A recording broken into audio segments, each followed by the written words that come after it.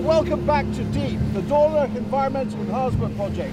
We're out on the Dornoch Firth, heading towards the oyster beds, where we're going to start to lay the, the first reef in over 100 years. The next few months, 20,000 oysters are going to be down there living happily in the Dornoch Firth. It's a great day for us, so let's go!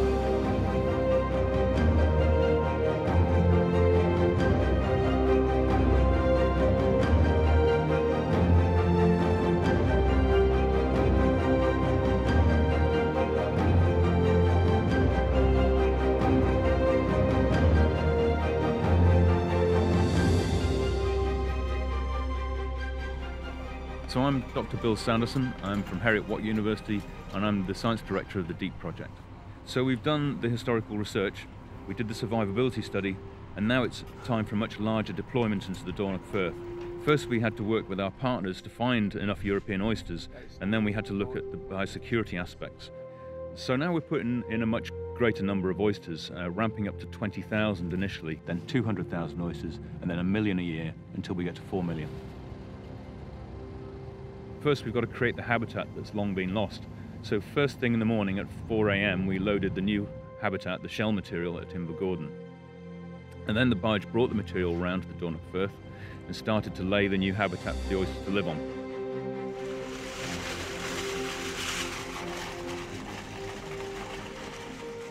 Whilst that was happening, the actual oysters that had been through an extensive biosecurity process were sorted and taken to another vessel for deployment. Then the dive started. The Firth is a challenging environment to work in, strong currents, difficult visibility, but we got the shell material down and we got the oysters down onto the habitat.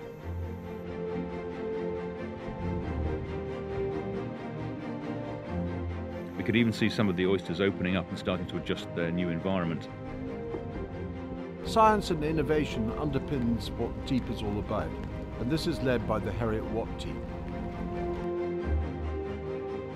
So my research with DEEP allows me to measure calcification, respiration and the filtration of shellfish in real time and getting carbon values for this. And this in itself allows us to value the restoration of a reef. My research with DEEP has tried to understand what makes larvae settle so that's the babies of the oysters when they metamorphose to an oyster that will stay in that location permanently. And the main thing we found is that the larvae prefer to settle on their own species. This means that for restoration efforts, um, the larger the oyster population, the more successful settlement will be. Personally, it's fantastic to get the project going here. I mean, um, the partnership is a genuine partnership between Glenmorangie Heriot-Watt and the Marine Conservation Society.